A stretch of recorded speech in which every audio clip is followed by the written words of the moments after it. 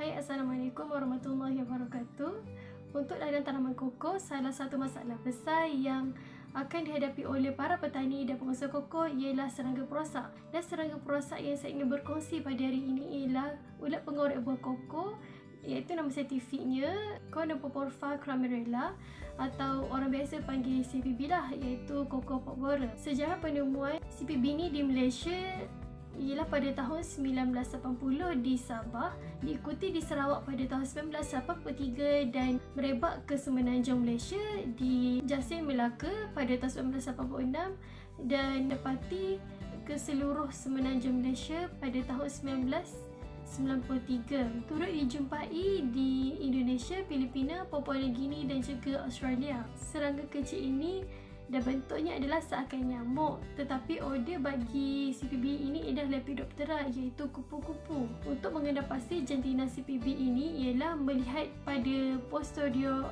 abdomen ia iaitu kalau uh, jantina bagi betina akan terdapat ada lubang dan berwarna oranye manakala jantan bulu dan kehitaman. Antaran hidup bagi CPB ini ialah 27 hingga 33 hari.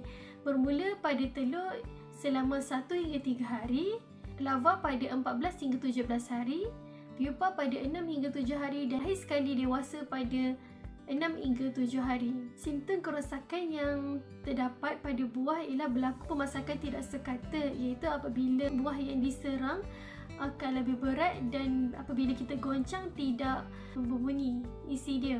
Lubang masuk bagi CPB pada fasa lava akan didapati apabila kita hiris nipis kulit buah koko itu manakala lubang keluar adalah nyata di permukaan kulit. Apabila buah dibelah, kita akan dapati biji akan melekat dan bercantum antara satu sama lain. Oleh itu, biji koko tidak dapat digunakan disebabkan kekurangan nutrien dan juga biji tidak membesar dengan baik.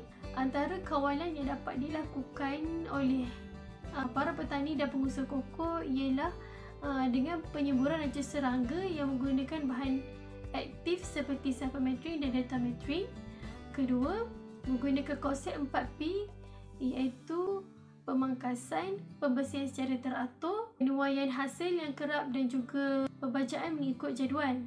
Yang ketiga, kawalan semut hitam iaitu Dolichoderus terracicus. Dan akhir sekali ialah pembalutan ataupun slabbing pot dengan mengikut saiz hingga 7-9 cm iaitu mengikut saiz stapler yang sederhana.